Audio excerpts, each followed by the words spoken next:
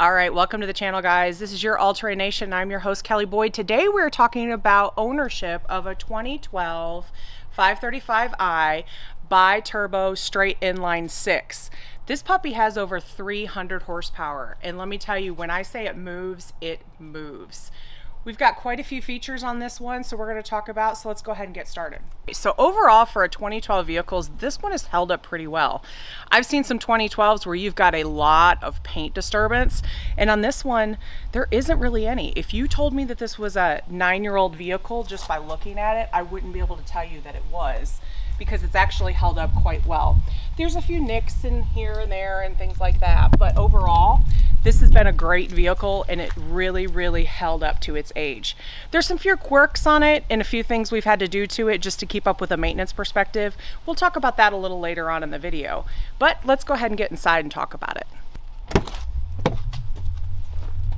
All right, so let's talk about this 2012. I know I've talked about being a nine-year-old vehicle and I keep harping on that, but let me tell you, it makes a big difference. Some of the older nine-year-old vehicles that I've seen they don't look as good as this on the inside. The quality has really held up over the years. You're talking about leather consoles. You're talking about leather on your dashboard. You're talking about things that you really wouldn't have seen in most nine-year-old vehicles. But we actually talk about the dash now as well. We actually made some changes to it. These got a little worn out. So we had this button, this one, and then this button right here that we actually changed out earlier this morning.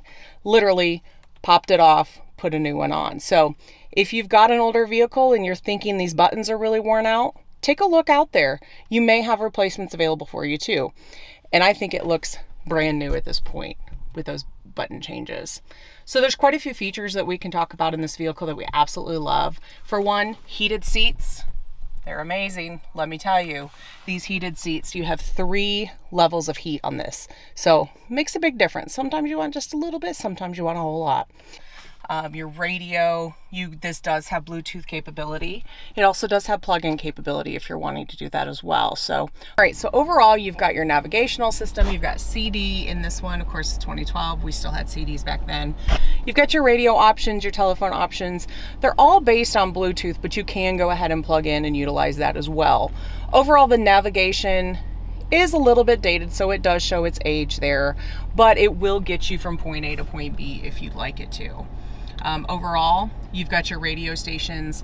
This is something that is a little bit that does take some adjusting to because it is a little bit dated. I'm not sure maybe it is the way the software is built for it as well, but it is a little bit of an adjustment to it to kind of get that kind of figured out. But overall, great vehicle, great. All right, so one of my biggest pet peeves on this vehicle, there's actually two pet peeves on this vehicle is the automatic off. I know a lot of people like that, but I'm not a fan of the automatic off because I just don't trust that it's always going to start back up. And plus, when you're sitting in traffic, if you're only stopping for a second and it turns off and then it turns back on, it's just kind of a pain in the butt. The other thing I'm not a huge fan of is on the start stop. When you turn this vehicle off, you actually have to push the button twice to get it to completely shut off. It just kind of goes into an AUX, like the engine's off and just has the radio on. So it's kind of annoying. Sounds picky, but it's something that I've noticed over time and it gets quite annoying when the time comes. All right, so overall, you've got great quality in these seats. They are so comfortable. We've taken this on trips, and let me tell you, the way that this compares to other vehicles that we ride in, there's no comparison. It's amazingly comfortable. The seats themselves are great quality. I know that the previous owners had kids, and let me tell you, these have held up. They've also held up to our daughter, so that's saying a whole lot about the vehicle itself. Overall, she loves riding in this. She also loves that she has heated seats in the back seat on this vehicle as well. She's super excited when the heated seats are on for her and ready to go. All right, so you know me, the reviews that I've done before, I like to show the trunk space and how much we can fit in the cargo. So let's go ahead and show you what we've got in this 2012.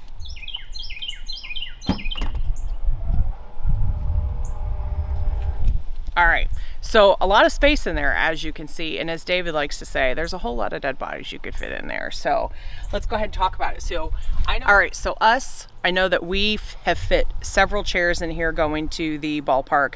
We've also been able to fit our daughter's all of her gear in here and been able to take all of our stuff to practice as well. So being coaches, that's a whole lot of gear. So that to me is a huge selling point on this vehicle.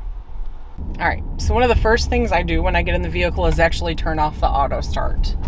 Super annoying that I have to do that, but overall, I get it. It's a feature that they like to have in there, and it kind of helps with that gas mileage on the vehicle if you were to utilize it. But I personally, I don't use it.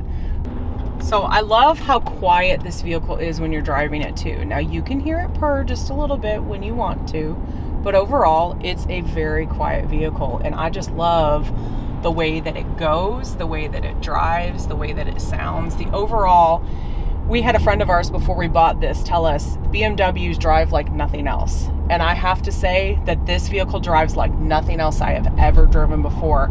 It hugs unlike anything you've ever seen. It is just overall smooth. The suspension is great in it. Overall, this vehicle is it's it's a win in the comfort perspective of driving this vehicle.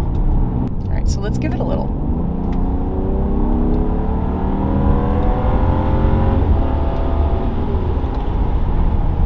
All right, you can hear it change. It's super smooth.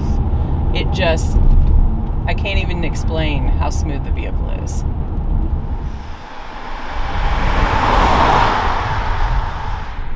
All right. So overall, this is a good vehicle to own. Will I say it's a great? I won't say it's a great because in the BMW world, in order to play in the BMW world, you've got to pay a little bit. The maintenance on these vehicles are not cheap. Uh, you've got premium fuel in these vehicles too that you've got to do because otherwise the little gremlins are going to come out and start yelling at you.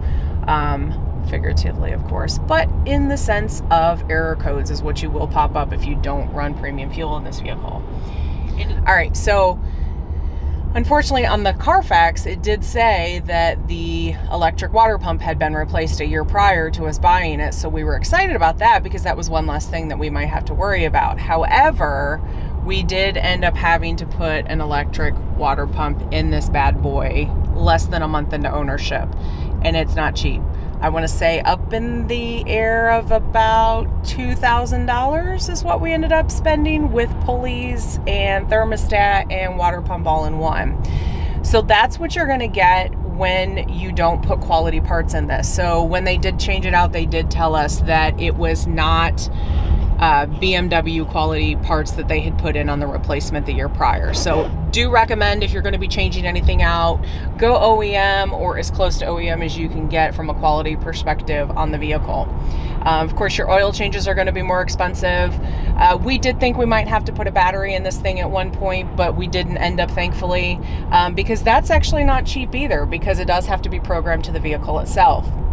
So there's quite a few things that do come with a luxury vehicle, um, and you may not be used to that. Uh, so just kind of do your research. This is one of the top vehicles when it comes to the cost of maintenance in a year, which unfortunately I did not do my research and know that prior to us buying this vehicle, or otherwise I may have thought about it secondly. But that being said, overall, we've had fun in this vehicle besides the little bit of money we've had to shell out in it from that perspective. But um, let us know in the comments below what you think of the vehicle. Would you own one knowing that there's a little bit of maintenance in there, but it's a little bit costly there?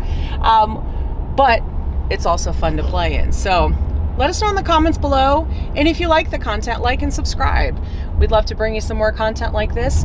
But this has been your All Terrain Nation. I'm your host, Kelly Boyd, and this is a final farewell to our BMW Drive.